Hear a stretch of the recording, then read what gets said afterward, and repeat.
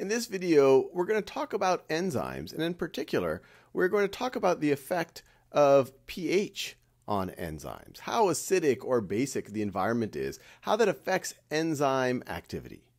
So just as a bit of a review, enzymes are molecules that help catalyze various reactions, and they are all throughout biological systems. Most enzymes are proteins, large proteins oftentimes, made up of chains of amino acids.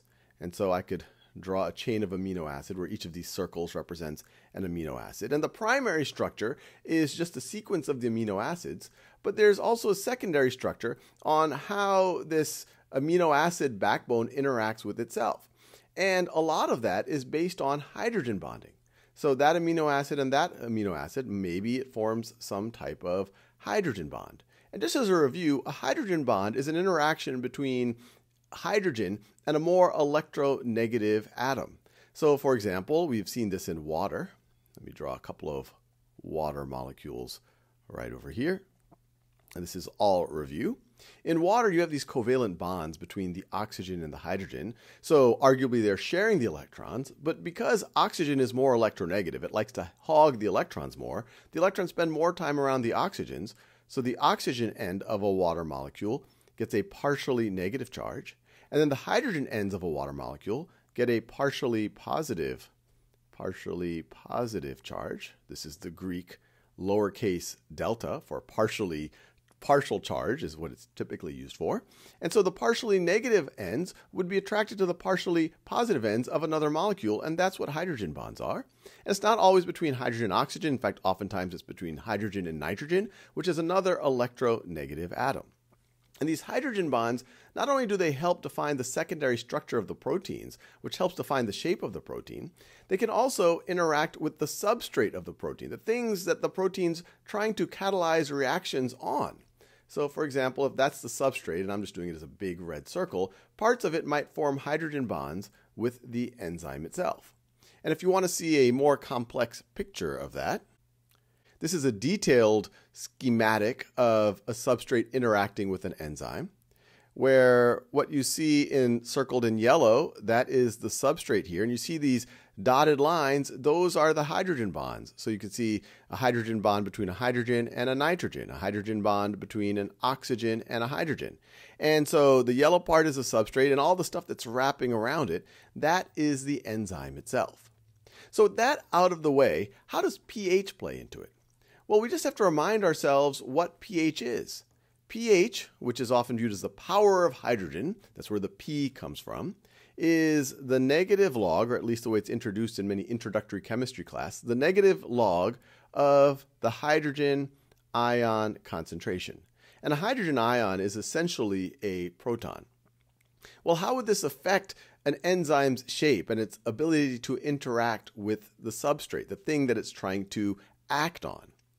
Well, if you have a bunch of, depending on how many hydrogen ions you have floating around, and oftentimes it'll be in the form of hydronium, which is a water molecule where the oxygen is bonded to one extra hydrogen proton, well, it might mess with these hydrogen bonds, where some of these hydrogen protons usurp the bond with the negative end of one of these molecules, or repel some of the positive ends of some of these molecules in a certain way.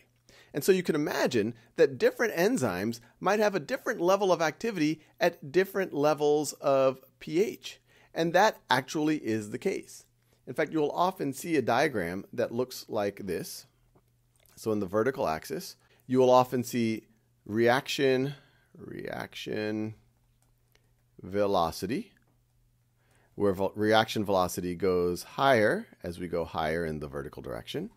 And in this axis right over here, you might see our level of pH.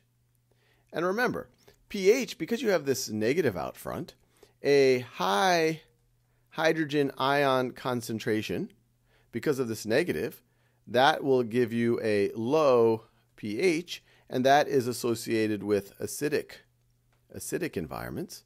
And a low hydrogen ion concentration that's associated with a high pH, once again because of this negative out front, and that's associated with a more basic situation.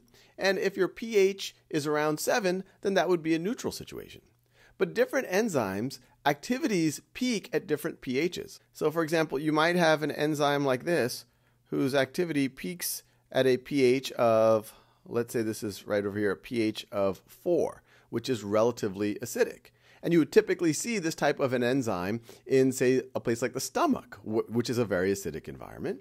And then you might see other enzymes that actually don't do too well in an acidic environment, but do quite well in a more neutral environment. So, for example, this peak might be at, say, a pH of 7. And then you might have other enzymes that do better in a basic environment. And we actually do see this in the human body.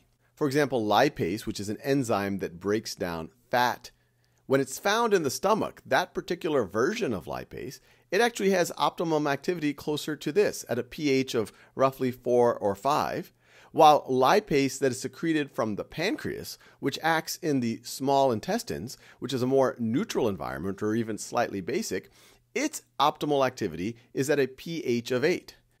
So I will leave you there. Big picture is is that a lot of an enzyme's shape or its ability to interact with the substrate is based on hydrogen bonds. And so you can imagine hydrogen bonds could be influenced by hydrogen ion concentration. And so, because of that, depending on your enzyme and sometimes the substrate that you're dealing with, you might have different reaction velocities at different pHs, with some enzymes doing better in acidic environments and other enzymes doing better in neutral or basic environments.